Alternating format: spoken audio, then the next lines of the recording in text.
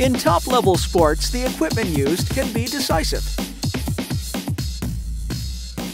Just imagine you're off-road. Think of the speed, the torque, and all the other forces involved. And then about what happens when your tires can't cope with the conditions.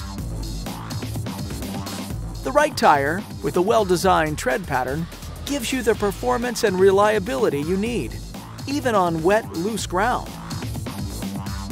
There's now a new anchor rod that's based on a similar principle. We call it Hilti HIT-Z. It gives engineers and contractors an extra margin of security and reliability, even when working with water-saturated concrete and uncleaned holes.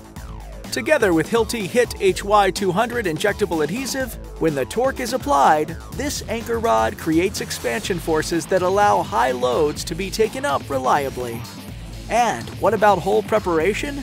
Cleaning is completely unnecessary. That's more than can be said for the bike and its rider.